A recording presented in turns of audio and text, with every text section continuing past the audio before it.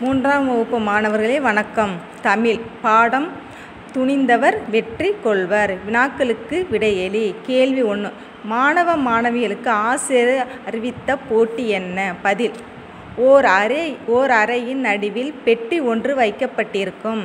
அந்த அறையினுள் சென்று பெட்டியினை தூக்கி வருபவரே வெற்றியாளர் என்று ஆசிரியர் அறிவித்த போட்டியாகும். கேள்வி ரெண்டு.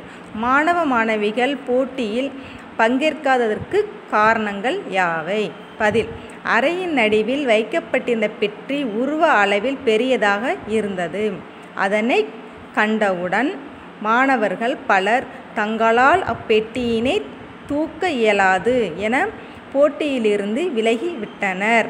மேலும் சிலர் பெட்டிக்கு அருகே சென்று பின்னர் தங்களால் பெட்டியை தூக்க இயலவில்லை என்றால் மாணவர்கள் சிரிப்பார்களே என்று நினைத்து போட்டியில் கலந்து கொள்ளாமல் திரும்பிவிட்டனர் கேள்வி மூணு. கவியரசியின் வெற்றிக்கு காரணம் என்ன? பதில் தன்னால் முடியும் என்று நம்பி கவியரசி முயற்சி செய்தால் அதனால் வெற்றி பெற்றாள். நன்றி மாணவர்களே.